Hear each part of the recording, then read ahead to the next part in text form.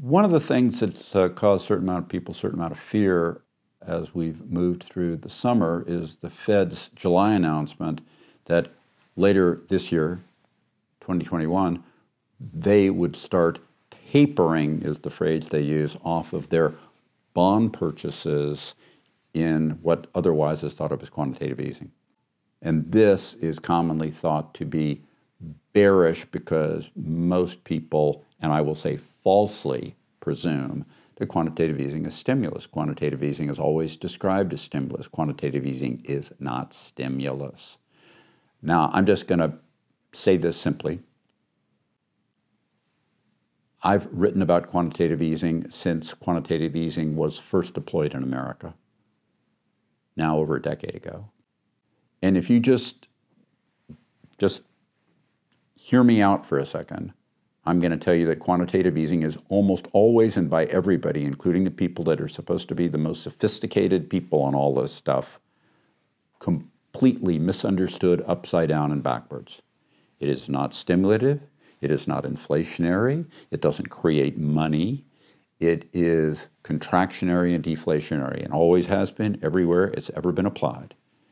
The fact is, in America or in Britain or in Japan, where in, in, in, the Eurozone, where quantitative easing has been deployed, it is not any of the things that people have thought it to be. And I've always found it just stunningly amazing that that isn't understood better.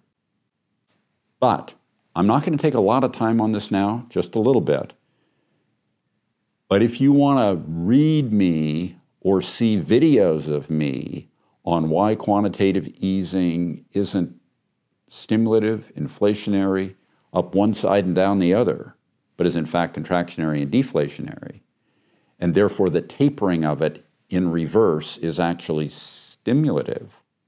If you just do a Google search of Ken Fisher quantitative easing, it'll take you to a lot of stuff going back a long time in lots of different formats of whatever type of format you'd like to read or see me in for that, including videos, including videos of me on TV doing that. But the fact is, banks are in the core business of taking in short term deposits to finance long term loans, and the spread between them is parallel to their gross operating profit margin. It's reflective of the profitability of subsequent loans that they will make. And the bigger that spread is, the more incentive they have to lend. Now, central bankers and so many others have always thought of quantitative easing in the vein of we've got low short term interest rates, we push long term interest rates down low. At low interest rates, people will want to borrow. And the lower interest rates are, the more people do have a propensity to borrow. That's true. That's what you could think of as demand side thinking about interest rates and money. Lower interest rates will cause more people to want to borrow. But with rates already low, pushing them down a little lower does not have much effect on lending, only it's a little tiny bit.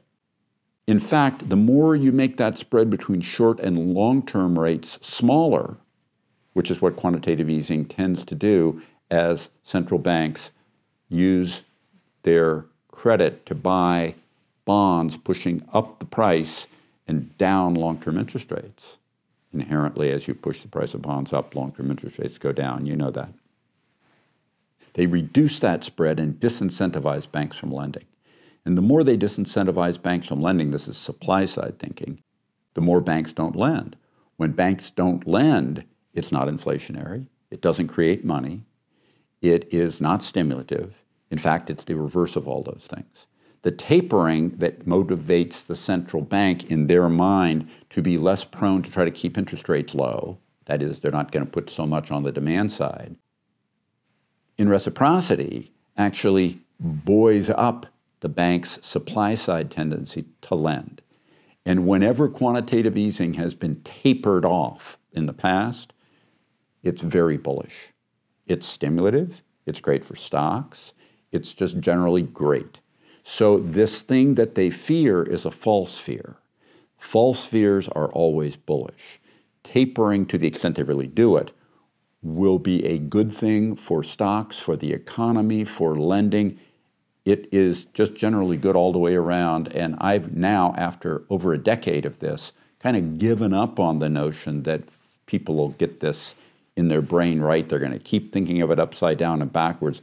But you, as an investor, should embrace the fear of tapering and not subject yourself to what some people would call a taper tantrum because there's nothing about tapering that's bad. It's all good. Thank you very much for listening to me today. Subscribe to the Fisher Investment YouTube channel if you like what you've seen. Click the bell to be notified as soon as we publish new videos.